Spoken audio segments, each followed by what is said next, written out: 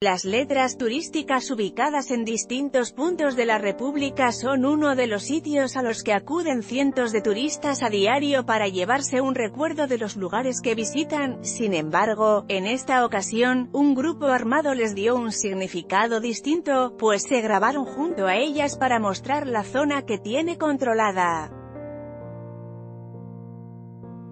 Recientemente se viralizó un video en el que al menos siete hombres encapuchados con armas largas y un par de ostentosos vehículos posaron en las letras turísticas de Guamuchil, Sinaloa.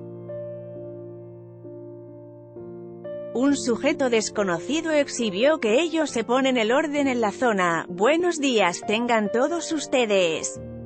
Nos encontramos con el convoy que pone el orden en la rosca. Ahí está el compa Armando, bien bélico el vato. Ahí está la Highlander del terror del comandante Guacho. Aquí está un puño de bélicos, tírenles un pedito.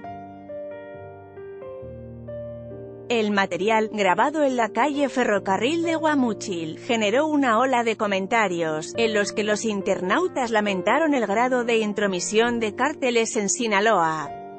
Tras la popularidad que alcanzó el video, las autoridades del Estado tomaron cartas en el asunto, y Jaime David Silva García, director de policía, informó que se encuentran investigando los hechos para dar con el grupo delictivo que protagonizó el material.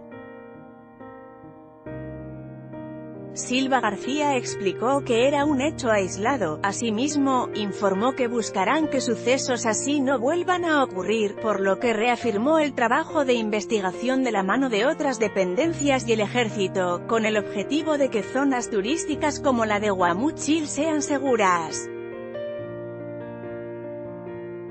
Con información de vanguardia y milenio anímate a comentar. Queremos saber tu opinión. Comentarios Powered by Facebook Comments.